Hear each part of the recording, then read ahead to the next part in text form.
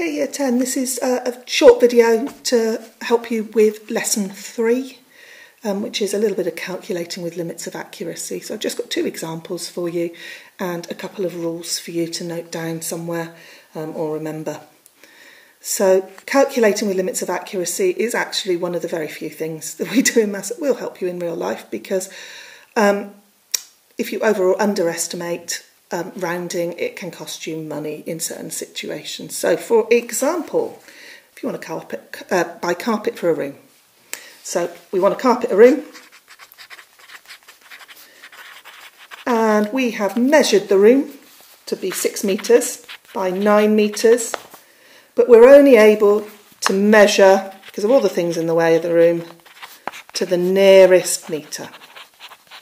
And we want to know how much carpet to order. If we get too little, we'll end up with gaps in the carpet. We get too much, we've wasted money on carpet we didn't need to buy. So we need to work out the minimum and maximum area of the room so we know we are definitely going to buy the right amount of carpet. So let's work out the error intervals of these two measurements first of all. So the six metres has been measured to the nearest metre, so it could have been anything from 5.5 to 6.5 metres, the true measurement of that width of the room. The depth of the room, again measured to the nearest metre, could have been anything, I'm going to call this one Y, from 8.5 to 9.5 metres. So that's the error interval of these measurements. Now, in order to be able to work out how much we need to order. You need to know that maximum area of this room is going to be found by working out the maximum of the width multiplied by the maximum of the depth. So the maximum is going to be 6.5 times 9.5 metres, which is, let me just reach for my calculator, 6.5 times 9.5, 61.75 metres squared. The smallest area that this could be, this room, is found by multiplying the minimum that it could be by the minimum it could be for the depth. So height times depth, the minimum times the minimum is going to be 5.5 times 8.5. which is 46.75 metres squared. Now, as you can see, there's a massive difference actually in terms of square metres between the minimum that it could have been with our errors of um, measuring and the maximum it could be. So you can see how it would be quite easy to go wrong in real life, order the wrong amount of carpet and be very sad. So that's how to deal with multiplying error intervals. Minimum times minimum will give you a minimum, maximum times maximum will give you a maximum. I know it seems like common sense, but when it comes to dividing, which is what we're going to look at next, it's important that you remember max times max equals max, min times min equals min. Okay, so let's do an example involving division. Okay, so we're going to look at speed, because that's always a good one. Lots of questions end up on speed with error intervals. Let's say I measure moving 120 metres. And that's measured to the nearest 10 metres. Okay, so we've travelled 120 metres and it has taken 30 seconds to the nearest second.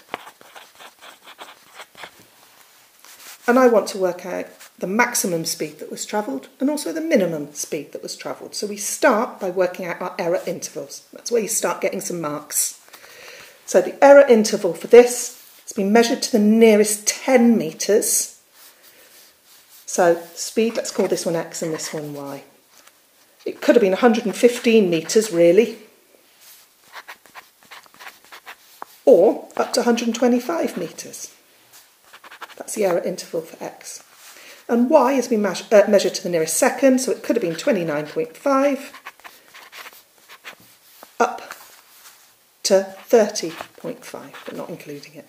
No equal sign there. So how do I work out the max speed?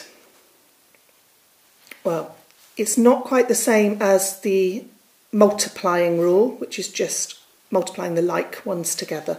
To find out maximum speed,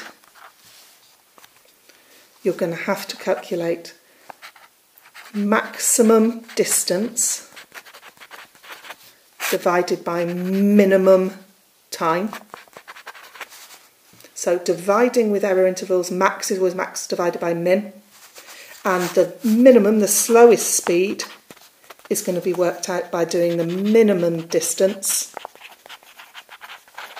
divided by the, the longest speed, so max time. So if you're dividing by something bigger, you're going to get a smaller answer. Okay, so with this example here, we've got max speed is going to be 125 divided by 29.5, and it's going to be metres per second. And your minimum is going to be 115 divided by 30.5. It's going to be in metres per second as well. So let me just quickly work out the answers to this.